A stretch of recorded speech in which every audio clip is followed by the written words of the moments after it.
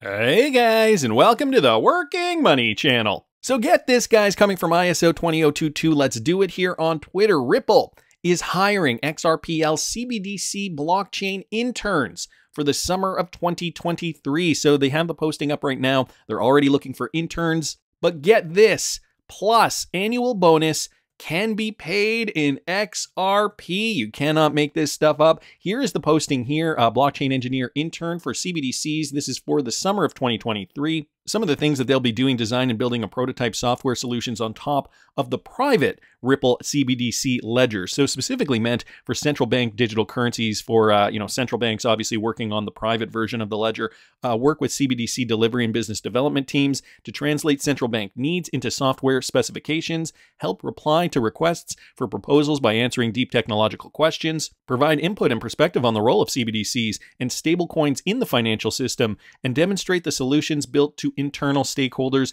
create videos on software for demonstrations. So uh, interesting to notice that. Uh, also, guys, some of the bonuses here participants in the corporate bonus plan have the option to elect to receive their annual bonus in cash, equity, or XRP, or a combination. So that to me says, well, two things. First of all, Ripple still sees XRP as a currency. They have no problem giving it to employees. They're not viewing it as a security, as an investment contract, uh, but also, and I think more importantly, they still uh, do believe they're, they're of the same school of thought as SBI. They realize that this is something valuable that they can give to their employees or shareholders in the case of SBI, something that will maintain value and eventually grow in value once more utility is derived from it. So XRP, in their eyes, a valuable cryptocurrency that, uh, in my opinion, will rise in value. Otherwise, they wouldn't be giving it out as an incentive. So an interesting observation here. Wanted to thank ISO 20022 for pointing that out. Mr. Man here, you know, going back to the topic of the weekend. Uh, if you guys didn't catch the video I did this morning, I will link it up here in the top right-hand corner. Uh, more updates, Signature Bank, what the Fed is doing, a statement from Janet Yellen, and yeah, a bearable guy connection four years later. You can't make this stuff up. These banks are the top global systemic important banks, or GSIBs. These reports are from last week. Monday will be very interesting.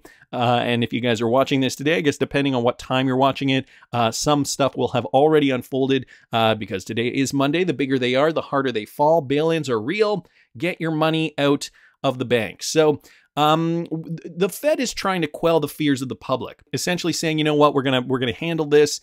Uh, they're really trying to mitigate and try to uh, prevent actually a run on the banks. Don't know the situation yet. We're still waiting for it to unfold. So he's, uh, you know, posting some of this. Bank of America saying, you know, brace for impact. Uh, some other banks here. Citigroup could lose billions in Russia. Bank helping staff leave the Ukraine. Uh, says executives down here. Lloyd's Banking Group, uh, HSBC, Barclays hammered amid crypto contagion fears. So this all coming out uh, over the weekend. This one from Friday, March the 10th. Uh, and what do we have here? GSIBs as of November 2022 allocated to buckets corresponding to required levels of additional capital buffers. Uh, so you guys can see here some of the big guys JP Morgan Chase, Bank of America, Citigroup, HSBC, Bank of China, Barclays. Uh, we've got BNP Paribas on here, Deutsche Bank. So a lot of these banks their fates, well, I don't know if they are sealed quite yet. Uh, we're going to watch, keep watching, see how this unfolds. I happen to see this too from Mike Manfield. This was from a couple of days ago, but I wasn't able to get to it. A little bit of positive news here. Security Bank Corporation, a leading universal bank in the Philippines, today announced that the bank has chosen Ripple partner ACI Worldwide Enterprises Payment Platform Solution to strengthen its real-time capabilities. So, um, you know, in Southeast Asia, they have their own banking sector, and ACI Worldwide, a Ripple partner, is now providing real-time payments for this particular company. So they're a provider of real-time payments and digital payment software solutions. And Security Bank Corporation, or also known as Security Bank, a leading universal bank in the Philippines, today announced that the bank has chosen ACI Worldwide's enterprise payment platform solution to strengthen real-time payment capabilities. Down here it says they want to stay ahead of evolving customer and regulatory demands by providing full payment hub capabilities for low and high value payments, including payment processing, domestic scheme gateways, and SWIFT on ISO 20022 standards uh, ACI Worldwide cloud native real time payment platform and flexible modern architecture ensure that Security Bank can provide secure services across customers, merchants, and corporate payments, and emerging in new payment types. By providing a best in class payment solution and global domain expertise, Security Bank will be a market leader in payments innovation in the Philippines and deliver its promise of better banking with customer centricity at the forefront. And we got to remember, too, the Philippines, one of those uh, critical countries, I think, for cross border payments, uh, one that relies on cross border payments very heavily. A lot of migrant workers uh, move from the Philippines to other countries, get paid in other countries, and send money back home. Uh, down here it says with the Philippines payment system primed for rapid growth, we require a technology platform that is scalable and can be modified as our customers' needs and demands evolve. The ACI partnership will enable us to provide our customers with a seamless real-time payment experience aligned with Security Bank's brand promise of better banking. This coming from uh, Stephen John Bell, SVP of Channel Networks Group head of Security Bank Corporation. And so ACI Worldwide, which is the Ripple partner, is the APAC leader in real-time payments transformation. Our robust solutions go from powering countrywide real-time payment ecosystems to interconnecting cross-border real-time payment networks and enabling the integration of different types of payments into a single unified, intelligent, cloud-native payment hub. So just uh, one statement here from ACI Worldwide and Security Bank, looking to broaden the technology and expand global payments, cross-border payments, in the Philippines. And of course, the Ripple connection there, ACI worldwide. They've been hitting it out of the park in Southeast Asia anyway. Wanted to thank Mike for pointing that out. And another one here from ISO 20022, Let's Do It. This was posted just on March 6th, so just last week. The WEF is working with leading blockchain experts and central banks to leverage DLT for the new global banking system. So, guys, this is the latest article, again, from just last week, titled The World Bank How the Development Bank Confronts Today's Crises. And so I will link this uh, article in the description of the video. Uh, as you guys can see, there are some pie charts here giving you guys some examples of, uh, you know, how the new financial system is going to be unveiled. Some of the interesting points, though, here how does the World Bank work? This board has annual meetings alongside the IMF's governors to decide how it can work best to reduce global poverty and help with international development. Now, we know the IMF, the World Bank, the BIS, another example, they all work in conjunction, in lockstep with the World Economic Forum. Uh, and so the World Economic Forum's Center for the Fourth Industrial Revolution Network has built a global community of central banks, international organizations and leading blockchain experts to identify and leverage innovations in distributed ledger technology that could help usher in a new age for the global banking system. We are now helping central banks build, pilot, and scale innovative policy frameworks for guiding the implementation of DLT. So, uh, World Economic Forum here, or at least this is stating that they are in fact working to guide implementation of DLT technology with a focus on central bank digital currencies or CBDCs. And of course, we know the World Economic Forum is no stranger to cryptocurrencies. This was a paper from back in June of 2021. Go to page 17 and you guys can see all the cryptocurrencies that they highlight in their report. So when talking about DLT technology and in conjunction with the World Bank, for example, obviously we would focus on cryptocurrencies like XRP and Stellar's XLM. So is it any surprise to you, and I mean, I didn't see this when it was released, but that Stellar predicted the bank runs back in 2021. Watch this crazy commercial coming from Mason here on Twitter. Watch this, guys. The world is full of tensions, all simultaneously pulling on the fabric of our financial system. Hola, Ma. ¿Todo bien? ¿Qué pasa? Mira, estoy acá afuera del banco. Ah, pero está cerrado. ¡Qué porquería! ¿Pero qué están haciendo? Déjenme pasar, que necesito sacar dinero. L'avertissement intervient après que plusieurs rapports ont fait surface sur des voyageurs qui se font voler de force leur argent à des barrages. And that is exactly where we see change peering through. Change that is powered by those who have the skills to create it. Change that includes the unincluded.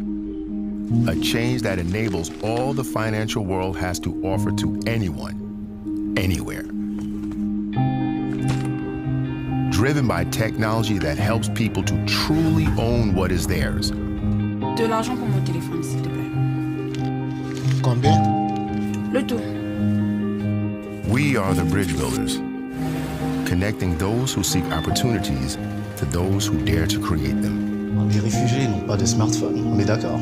Bah, on les imprimantes plutôt sur ces téléphones. Vous en pensez quoi? Our calling is to create tools for doing good by doing well. Ah, no te preocupes, yo te mando plata. And doing well by doing good. Mais sont entrés dans le camp avec l'intention délibérée d'intimider et de voler de l'argent, prenant les dernières épargnes de ceux qui ont plus besoin. And bridge technical and physical borders with technology for real world problems. Look, see the opportunities. We just need a way to bridge the obstacles. To create a more just world by acknowledging that everyone is valuable and empower local solutions to solve local problems. The Stellar Network, a universe of opportunity. Whoa! I mean, could this be telegraphing what was to happen in the future, in Stellar's case, two years in the future, to usher in a great reset? Run on the banks, bank closures. Obviously, we have seen lots of that as of late. And, uh, you know, considering Stellar is one of those highlighted WEF coins, nothing really surprises me. So, a prediction? I don't know. Maybe they knew what was coming down the pipe from day one. And Charlie Ward has also made an appearance. Bank collapse has begun. I don't know if you guys remember, but a few years ago, I did a video about Charlie Ward and his opinions about the financial reset. This was done back in August of 2020. I'm going to play you guys a little clip from that video. He was warning us at that time listen to this. And I had to mention this because this next video was posted by Sir Gordon Gekko. And this is from Charlie Ward's YouTube show. He has Michael Tellinger and Charlie Freak on here, and uh, I want to play you this clip. Let me just play you guys this clip. I, I brought up the original YouTube video here. Let me just play you guys this clip to hear what he has to say. I mentioned it to Colleen because it's just become public knowledge. Right from day one, I've been telling everybody about the collapsing the world's economy for a global financial reset, the quantum financial system coming into operation. Now, I know that they were testing it. They sent out um, pings to every bank in the world on August the 2nd. Every bank in the world responded, so that the system was working. They tried to launch it all of last week and had issues um, because um, Nancy Pelosi and her team had hired hackers to stop them to do it. Yeah. But I've uh, it's gone public today in, a, in the Independent in England. No, it hasn't. Sorry, I'm gonna. Yeah, it was, but um, the Federal Reserve itself, the government website, the federalreserve.gov website, has announced that the system is operational as from today. So they've actually announced it publicly. It's all been very, very quiet up until now. Wow. The new, uh, the new financial system, which replaces the Federal Reserve SWIFT system, which is for the fiat currency, is now the quantum financial system, which is a blockchain system, which is instant settlement.